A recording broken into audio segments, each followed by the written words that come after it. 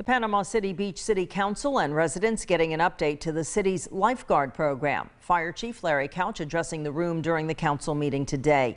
News 13's Kayla Tucker was there. She tells us how far the program has come and where it's set to go.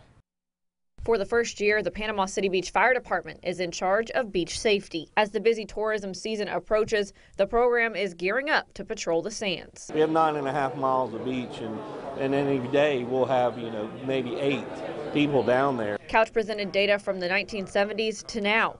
Someone who is there to see it all is Councilman Paul Casto. My first job with Panama City Beach, I was a lifeguard, and we have come a long ways. Uh, we didn't have any uh, uh, flag warning systems or any uh, jet skis or any of the rescue devices that they have today. Casto says many things have changed since then, but something that stayed consistent is dangerous rip currents and drownings. I just ask that they pay attention to the flag warning system. That's a very good tool that we have. We've got to get out to, you know, the colleges, the schools, all the media outlets. You know, we're hiring lifeguards.